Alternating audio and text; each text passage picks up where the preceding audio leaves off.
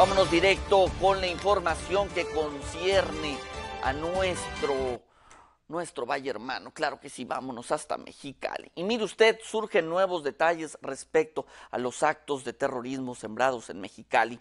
Una información de Naciel Pizano. Ante la incertidumbre de inseguridad que se vivió este fin de semana en Mexicali y el resto de Baja California, en las últimas horas se han reportado actos vandálicos de intentos de prender fuego en los automóviles.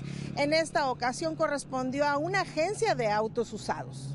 Fue la noche del lunes que las cámaras de seguridad del negocio captaron cuando un hombre aparentemente prendió fuego a un artefacto para arrojarlo al negocio donde se encontraban los automóviles en resguardo. Sin embargo, la oportuna intervención de los vecinos y trabajadores que se encontraban en el lugar lograron apagar las llamas sin que se reportaran daños en los vehículos. Rápidamente llegaron las autoridades.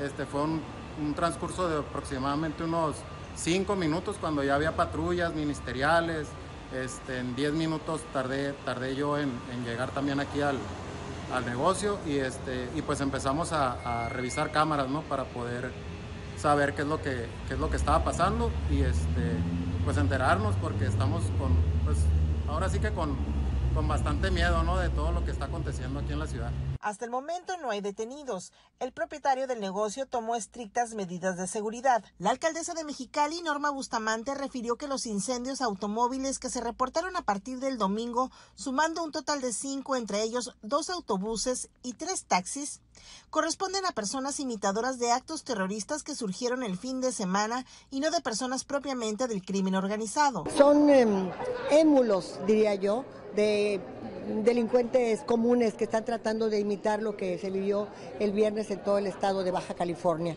Como ustedes saben, estamos siendo reconocidos, incluso a nivel nacional, por la rápida detención de los detenidos y sin embargo, y a pesar de esto, por lo que usted menciona, de que pueden suceder esos puntos de que incluso pudieran causar eh, temor en la población, decirle a toda la gente de Mexicali que nosotros nos mantenemos en estado de alerta, la Dirección de Policía Municipal en coordinación con otras instituciones de seguridad, ya saben cuáles son, Guardia, Ejército, todos, estamos vigilando la ciudad dijo que estos son hechos aislados que no deben minimizarse, por lo que continuará reforzando la seguridad. Las autoridades locales reconocieron solamente un acto de terrorismo que fue lo ocurrido el pasado viernes con la quema de un autobús de pasajeros donde hubo tres personas detenidas y trasladadas a la Ciudad de México por los posibles delitos de delincuencia organizada y terrorismo. La alcaldesa de Mexicali aseguró que se continuará reforzando el patrullaje en la ciudad y el valle,